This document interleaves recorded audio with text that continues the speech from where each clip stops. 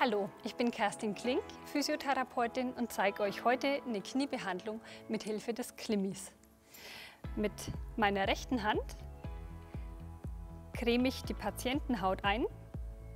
Ich beginne an der Medialseite des Knies, nämlich mit dem Pes anserinus, übergehend in den Adduktorenkanal. Zunächst halte ich den Klimmi quer, um mit der Kante den Pes anserinus auszustreichen. Sobald ich in Richtung Gelenk komme, lasse ich den Druck nach, drehe den Klimmi und kann so punktueller den Adduktorenkanal entlang gehen.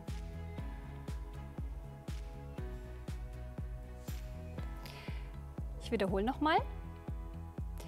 Mit der Kante behandle ich den Pes anserinus, lasse den Druck nach, wenn es übers Gelenk geht und behandle dann mit der Nase des Klimmis tief im Adduktorenkanal. So werden sämtliche Verklebungen und Myogelosen gelöst. Und Stoffwechselabfallprodukte können besser abtransportiert werden. Um die laterale Spannung des Knies zu entlasten, behandle ich den Tractus iliotibialis Erst wird wieder die Haut mit Lotion eingerieben. Dann setze ich erst den Klimmi quer auf und streiche den kompletten Tractus iliotibialis von proximal nach distal aus. Die kleinen Ruckelbewegungen, die ihr seht, sind die Verklebungen.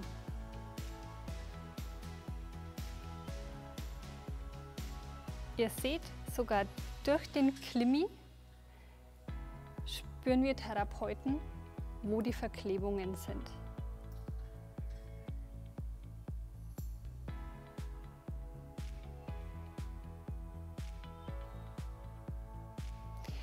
Das war eine flächige Behandlung mit der Kante. Ich kann aber auch mit der Nase etwas präziser arbeiten. Das heißt, ich halte den Klimmi so und kann genau die Verklebungen wieder spüren und vielleicht auch ein paar Mal öfter drüber gehen.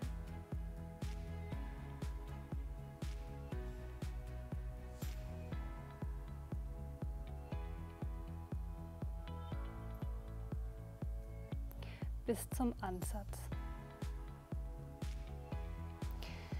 Um den Tractus iliotibialis faszial vom Bizeps femoris zu trennen, nehme ich gerne die Kantenseite, die Nase, setze punktuell auf zwischen den beiden Faszien und erhöhe die Mobilität zwischen den beiden Faszien.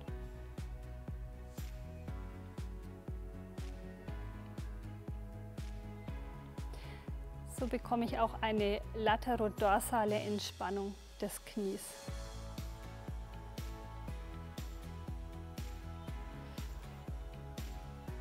Außerdem entlaste ich somit das Fibulaköpfchen.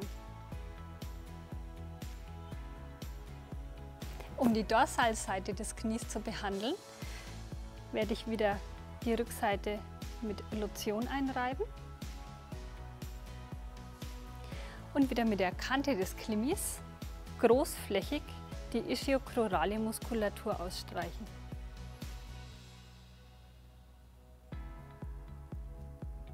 Ich gehe hierbei bis zur Kniekehle und nicht drüber.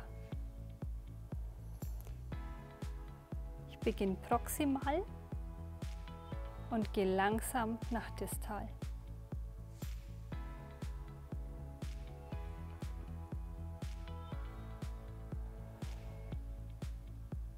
Um die Faszien gegeneinander zu mobilisieren, benutze ich die Nase. Das heißt, ich drehe den Klimmi, setze die Nase auf und streich wieder von proximal nach distal.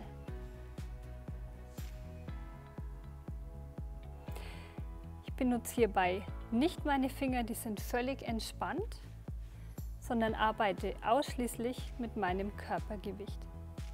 Ich gehe ein bisschen lateraler und streiche auch hier wieder von proximal nach distal. So kann ich die komplette Oberschenkelrückseite von myogelosen und faszialen Verklebungen befreien. Infos und Wissen über den Klimi seht ihr im Link. Benutzt ihn, eure Hände sagen Danke.